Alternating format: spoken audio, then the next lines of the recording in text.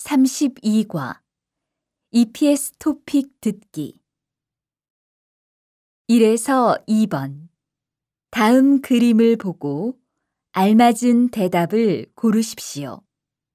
1번 이것은 무엇입니까? 1.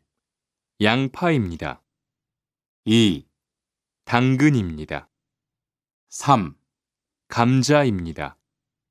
4. 생선입니다.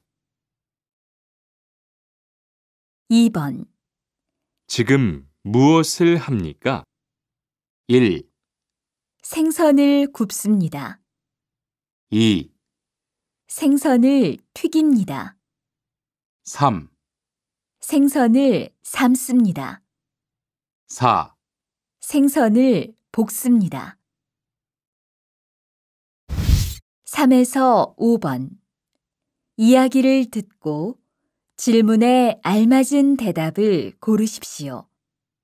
3번 수피카 씨는 한국 음식을 좋아해요? 네, 정말 좋아해요. 한국 음식은 맵지만 맛있어요. 4번 김치찌개는 어떻게 만들어요? 먼저 김치를 볶으세요. 그리고 물을 넣고 끓이면 돼요. 5번 수진 씨는 요즘처럼 더운 여름에 보통 뭘 먹어요? 저는 시원한 냉면이나 콩국수를 자주 먹어요.